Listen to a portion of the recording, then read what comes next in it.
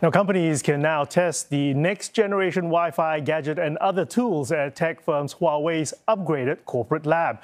Now, while the Wi Fi 7 router isn't available commercially yet, it holds the promise of supporting more connections. And this means that firms can go deeper into robotics automation, video conferencing, and streaming.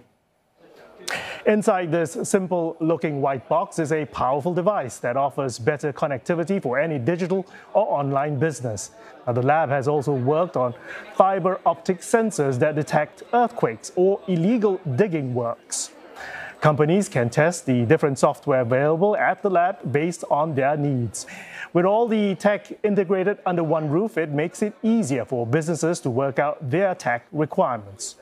Now, since Huawei Singapore Labs launched in 2016, it's worked with more than 100 partners to create solutions for customers. OpenLabs 3.0 is, first of all, aim to work together with Singapore partners so we can have all these different use cases tested, validated here.